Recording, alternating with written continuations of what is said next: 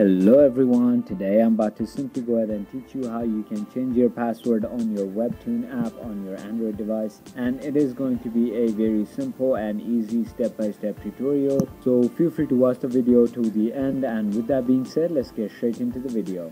So first of all simply go ahead and open your Webtoons app and I hope you have signed up and logged in into your Webtoons account but if you haven't already I made a tutorial on how to do that. So go watch that and come back to this video. Now once you have opened your webtoons application you're going to be on this page right over here. Where on the bottom right of your screen you can see there is a more button. Go ahead and tap on that. And now over here you want to simply go ahead and tap on settings Finally, once you have done that, tap on reset password and simply enter your email that you want your verification or basically your password reset to be sent at. So simply tap on send and finally email will be sent. So simply go ahead and open your Gmail and finally go ahead and open the email that you just sent the email to and as you can see the webtoon reset password is over here and all I have to do is simply tap on this link and then it will take me to a page where it will ask me a new password and go ahead and enter your new password on top and go ahead and re-enter your password on the bottom. And you can simply tap on reset password and your account's password will be reset.